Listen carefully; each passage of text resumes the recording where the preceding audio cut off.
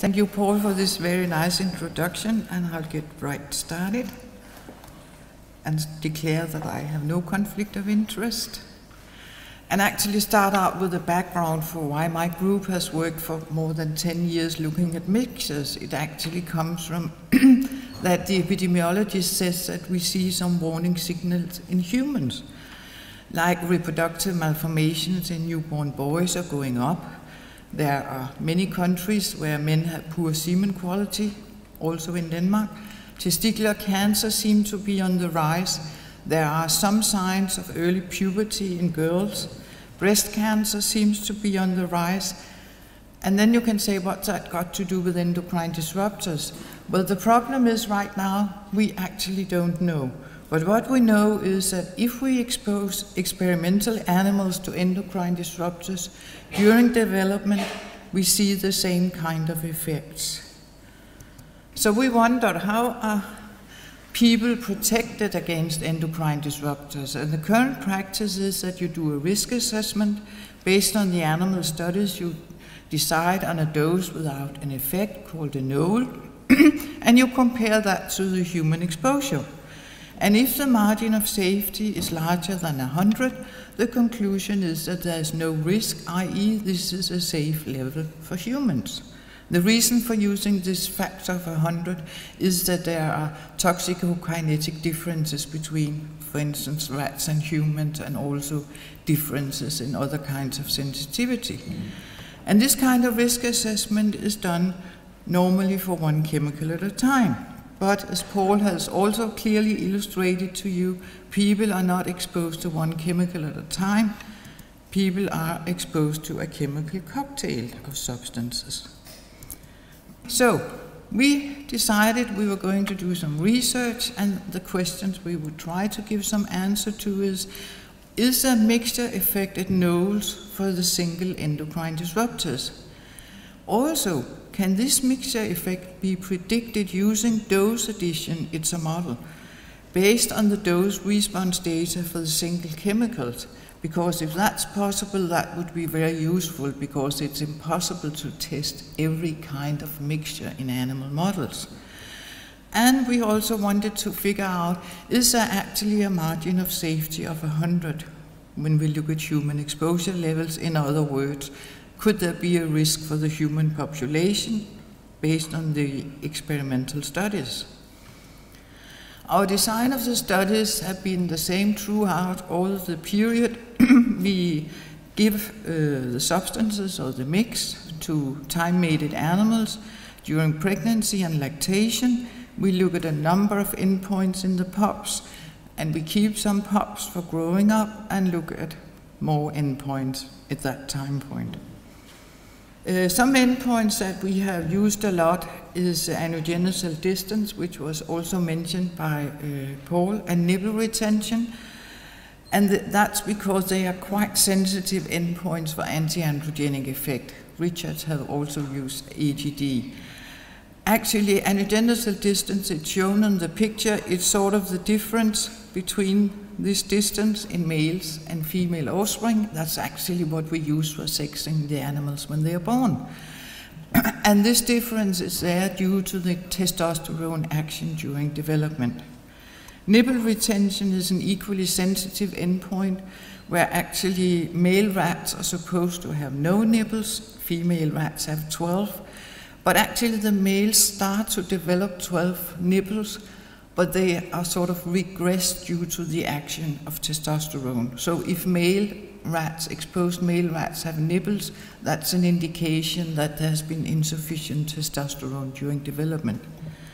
In all our studies, all our endpoints are measured blindly to exposure group, and for anogenital and nipple retention, it's the same technician who has done sort of the evaluation in all studies.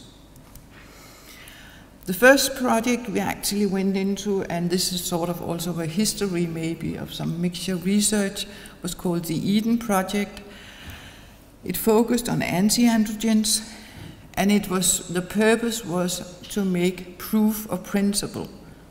It was the purpose was not human relevance directly, but proof of principle, which meant that we used what you could call a bottom-up approach First, we did the dose response for all the single chemicals. Then, the dose additivity prediction was made based on this formula over here. Then we did the mixture study and then we compared. And this is just to show you an example of data for some of the single substances we used. It. It's for three AR antagonists, i.e. three uh, substances with the same mechanism of action. And what you can see here is that for anogenital distance and for nipple retention, we have very nice dose response curves, actually meaning that at the higher doses, the males had similar AGD as the females, and they also had 12 nipples, which was a bit of a problem because then we had to sex them by opening and look at what kind of sex organs are they actually having. And then we did the mixture study. And this is some of the result for anogenital distance. Over here you have the control males, then you have the three single substances, and here you have the mixture result. And as you can see, there's no effect of the single compounds. There's a clear and significant mixture effect. The green here is a prediction, which is quite close to what we saw, and here you have the females. So for this data, we do see mixture affected null, and they could be predicted by dose addition. We also looked at malformations of the external reproductive organs in the adult male offspring, and that's what's shown here, where actually at the higher doses we saw a completely split penis, meaning that you could see the os penis in the rats. In that case, rats are different from humans. They have a small bone within their penis, which could be sort of called a very marked hypospadias. Actually, in some of the males, we also saw a blind vaginal opening, which obviously a male rat is not supposed to have. To some extent, this is uh, similar to what you can see in humans when you look at hypospadias, but this is a very severe case of that. So we wanted to see what happens when we dose with the mixture. And this uh, graph shows here you have the three single substances and the doses causing this malformation. They do cause this malformation at the higher doses. But within the mixture, when each of the substances was there at a dose that caused no malformations whatsoever, we actually had 60% malformations in the mixture group. Then we continued because these were substances with a similar mechanism of action that we needed to look at anti-androgens that had a dissimilar mechanism of action. And we chose one from the first study, vinclozolin, the AR antagonist, DHP, which is a phthalate that causes decreased testosterone in male fetuses, finasteride, an alpha reductase inhibitor, and prochloras, it's a pesticide, and it actually have all of these mechanisms to some extent. And of course, the big question was, are we going to see mixture effect where they have different mechanism of action and can they be predicted based on dose addition? First, results for anogenital distance, where same kind of figure as before. Here you have the four single substances, and here you have the effect of the mixture. So we actually had a mixture effect at the null for the single substances. Also, here you can see the prediction based on dose addition, very close to the observed results, and over here, sort of to show that we actually did dose response, you can see the results we got, and here you have the prediction curve. So the results were very nicely predicted by dose addition. We also looked at, uh, of course, at the malformations in this uh, mixture project and what we saw there, and in this case we had mixed the substances according for their null for causing endocrine disrupting effect. We did not see a mixture effect at the null for the single substances, which is quite nice. On the other hand, at a 10 times null, 100% uh, of the males in the exposed group had these severe malformations. Uh, quite surprising actually when we compared sort of the prediction of where we should see uh, the mixture effect, it lies here. actually our results are here, which shows that the mixture effect actually occurred at a lower dose than predicted by dose addition, which indicate that we actually see synergism for this endpoint. But that's the only case where we have seen it. Then we continued sort of another approach going for an environmentally relevant mixture. Uh, not sort of taking seaweed slot, something from the real world, but trying to make a mixture similar to what humans can be exposed to. Meaning that this was a top down approach which took a mixture of a lot of uh, endocrine disruptors, anti androgens, that's the blue ones, and some of those called estrogens, the red ones. The mixture ratio we chose was sort of based on high end human exposure, based on the exposure levels we could find in the literature when we designed the study. High end means that we have not chosen the highest dose level we could sort of find, but aiming to be around 90 to 95 percent percentile of human exposure. And the doses we used were 100, 150, 200, and 400, 150 times human exposure. And the main purpose was to find out do we actually, when we have sort of an environmentally relevant mixture, is there a margin of safety of 100? The data for the anogenital distance, or actually the index, it means it's corrected for body weight, shows here you have the total mixture. The blue is the anti-androgens, the red is the estrogens, and out here, given alone, we also had paracetamol. That was included in the total mixture, but not in the submixtures. And what you can see here is that we saw decreased anogenital distance from 200 times human exposure levels. Nipple retention, sort of a similar picture, we also saw effect there, 200 times human exposure levels. But then we looked at the sperm count, and actually what you see here is that we have an effect on sperm count clearly significant from 200 times human exposure level only in the anti-androgen mixture.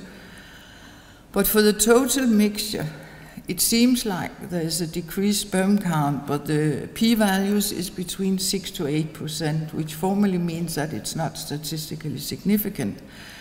So our conclusion is that we do see lower, lower, sperm count at 200 and 450 times human exposure, but there may also be go something going on at 100 times human exposure. Then changing to the females, uh, where we have look, looked at estrocyclicity. We did that when they were young in the females, and we did that when they got older. And the situation for rats is that they start to have irregular cycles around 9 to 10 months of age. And they tend to then to have prolonged cycles of six days or more, or become do not have a cycle at all. And we wanted to see could there be an effect on reproductive senescence in the females. And we only did that with the estrocyclicity for the, for the total mixture groups. That's a lot of work actually to look at estrocyclicity in rats.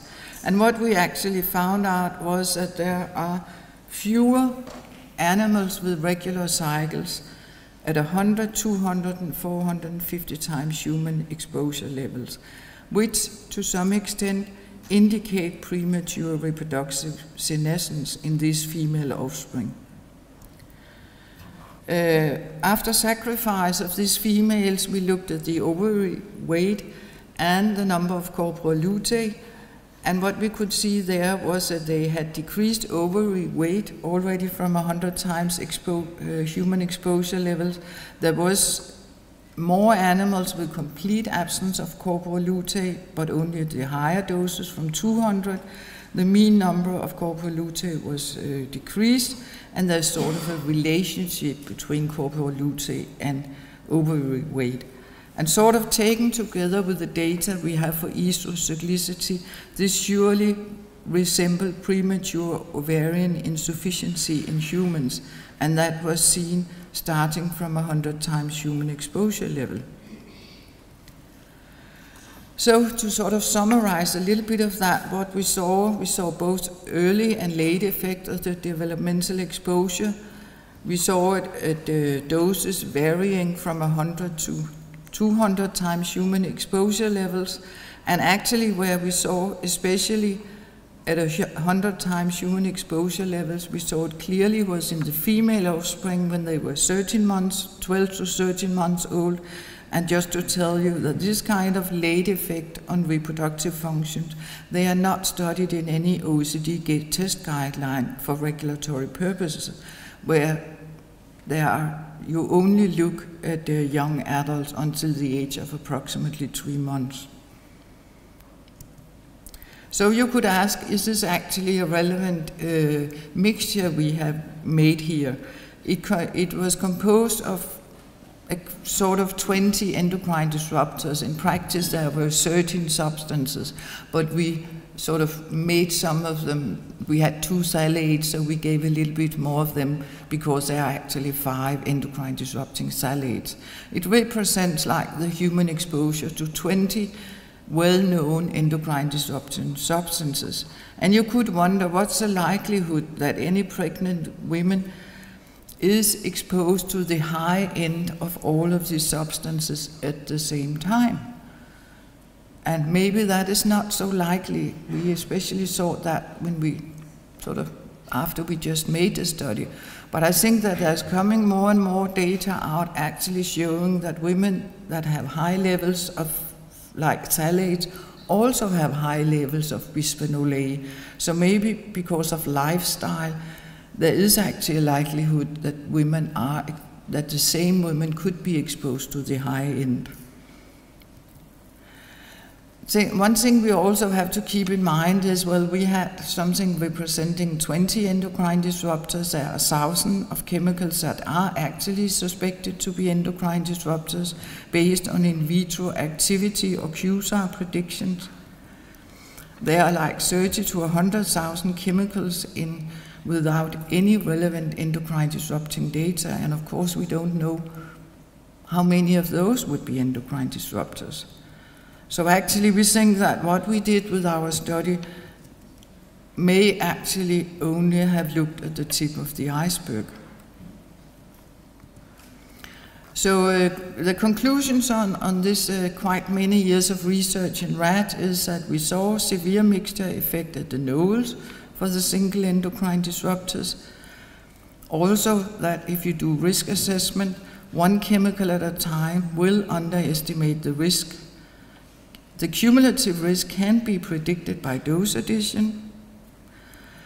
And the fact that we saw effect at 100 to 200 fold human exposure levels indicate that the margin of safety for highly exposed women is not over 100.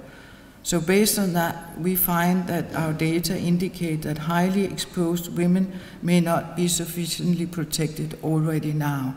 And I know, as Richard said, and also I think Paul clearly showed you. This is an area of high complexity, and there's a lot of things we need to know. But on the other hand, I think we also have an obligation to sort of recommend to authorities what to do based on the data we have already now. Then maybe we will be clever in 5, 10, or 15 years. We'll see. And uh, our recommendation based on that is while we get more and more data and more and more details, we would recommend the regulatory authorities actually to do something so highly exposed women will be sufficiently protected against endocrine disrupting substances.